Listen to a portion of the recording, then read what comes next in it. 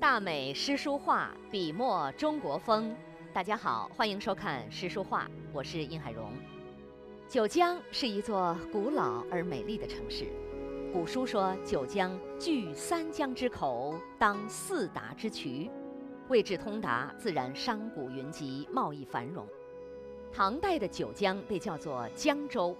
元和十年，也就是公元八百一十五年，白居易被贬任江州司马，写下了脍炙人口的名篇《琵琶行》。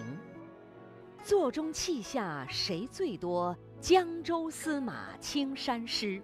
这个千古名句令江州这个城市名声大振。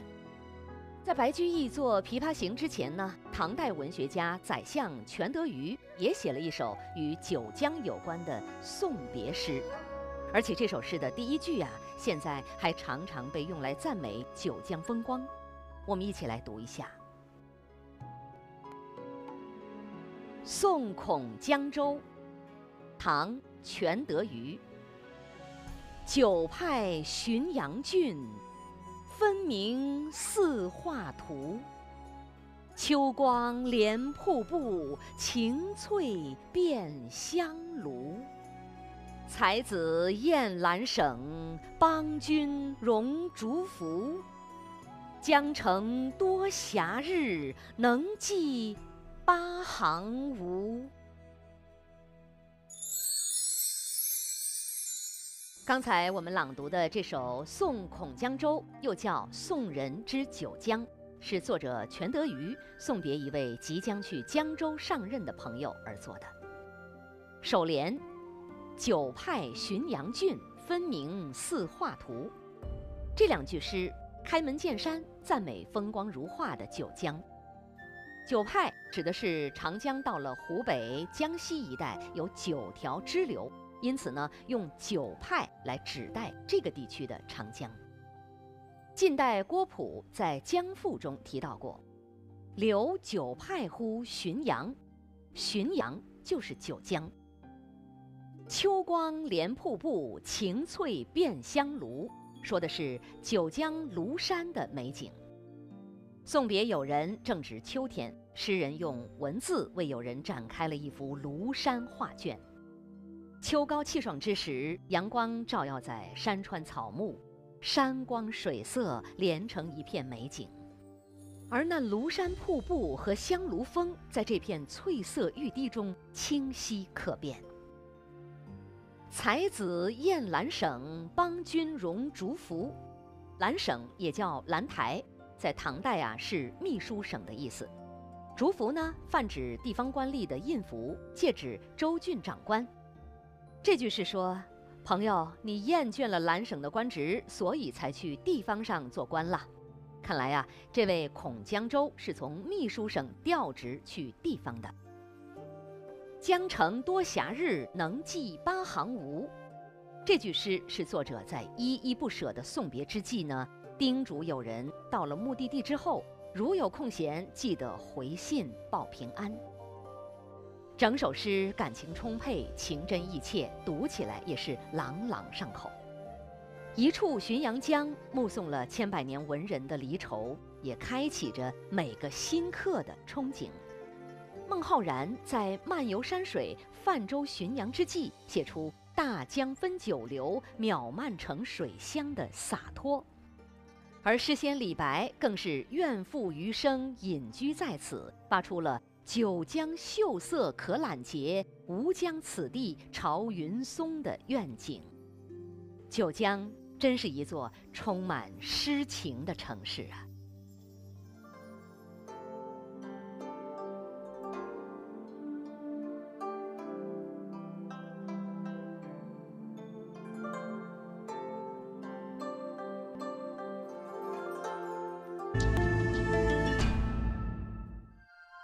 大美诗书画，笔墨中国风。九江的文化记忆在古代文人那里代代传递，不曾停息。唐人白居易在九江留下了千古名篇《琵琶行》。时过境迁，这首诗歌到了一位明代的才子手中，却在画纸上展现出了另一番见解。这位明代的才子就是书画名家唐寅。唐寅在他的《山水八段图卷组图》中，以白居易的《琵琶行》为主题，绘制了整组画卷的第一幅图《浔阳送别》。我们来看一下这幅画的内容。整幅画作呈对角线构图，在右上角，作者采用了大片留白区域来展现浔阳江的广阔，从而呢也体现了白居易送客时候孤单凄苦的心境。左下角呢是画面表现的重点，岸边垂柳依依，一艘客船停在江边，船上有几个人物，依稀可辨出是船夫、女子、白衣男子、青衣男子以及一个侍仆。那根据《琵琶行·江州司马青衫诗》的描写，我们可以猜出这青衣男子应该就是白居易。在白居易的《琵琶行》里啊，重点描述了琵琶女精湛的弹奏技艺，嘈嘈切切错杂弹，大珠小珠落玉盘。而在这幅画里呢，我们并没有感受到弹奏过程中落珠泻玉般的畅快，而是有着一种无声的静默，让人不由得想到《琵琶行》里那句。东船西舫巧无言，唯见江心秋月白。静默的画面配合淡远的江景，不着重墨，仿佛让我们感受到明月朗照、江水悠悠的寂静。唐寅在作画过程里呢，除了表现出《琵琶行》的诗意，还展示了画家本身对作品表达的取舍。《琵琶行》原诗当中啊，有“枫叶荻花秋瑟瑟”一句，可以看到画中荻花有了，却不见枫叶。实际上，秋天的枫叶啊太过红艳，并不符合整体画面的调性。于是，唐寅用柳堤秋草来代替枫叶，把白居易诗歌里的离别氛围渲染得十分到位。我们刚才说到这幅《浔阳送别》的构图重心呢，位于左下角。为了画面构图的平衡，唐寅在右上角题诗一首：“浔阳未必是天涯，两岸风轻芦荻花。谁是舟中白丝马？满江明月听琵琶。”唐寅是一个闲适风流的文人才子。与白居易身份秉性都有很大的差异。